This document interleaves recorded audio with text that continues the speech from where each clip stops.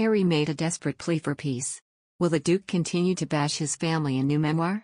Prince Harry has taken the devil's route by choosing to publish a tell all memoir about his life, in the year his grandmother reaches her 70th anniversary on the throne, according to a royal expert. The royal reporter Rupert Bell believes the Duke of Sussex should not press ahead with plans for his memoirs, which promise to tell an accurate and wholly truthful story of the prince's life, as it will drive a further divide through his family and overshadow the Queen's landmark year. Mr. Bell stressed how there are other ways to deal with his feelings towards the family, and this is the wrong route to take.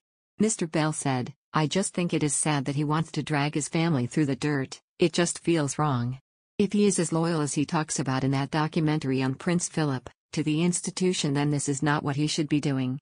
The royal reporter went on to claim the loyalty Harry speaks of is undermined given the release of his memoirs in the same year the Queen is celebrating a momentous occasion with her Platinum Jubilee.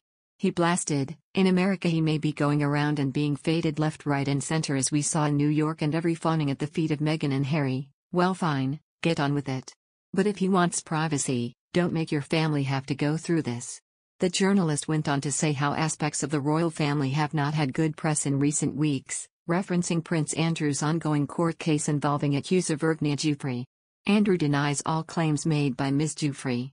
Mr. Bell continued questioning why Harry feels the need to do it as he said a tell-all memoir comes at a bad time for the family.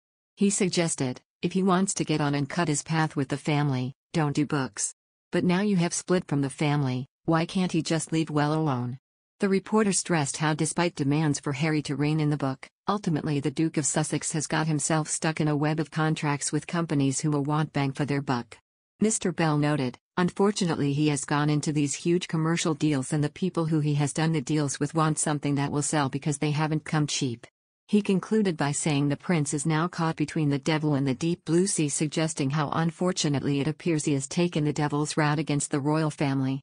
The couple moved to the U.S. with their firstborn child Archie Harrison Mountbatten Windsor and recently added a daughter to their brood following the birth of Lilibet Diana in June.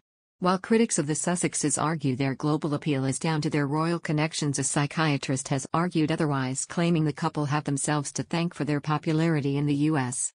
Psychiatrist and clinical assistant professor at NYU's Langone Medical Center Dr. Sue Varma told, For many Americans, Prince Harry and Meghan's work speaks for itself.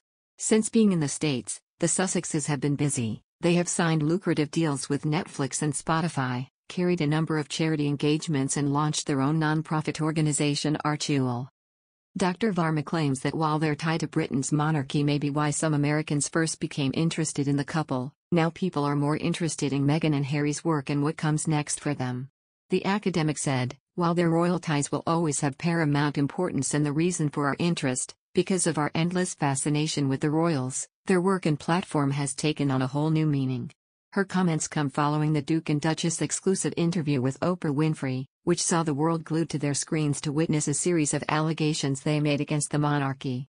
During the two hour interview, the couple spoke of their step back and made a series of sensational claims against the firm, including the claim one senior royal discussed the color of their son Archie's skin with Harry.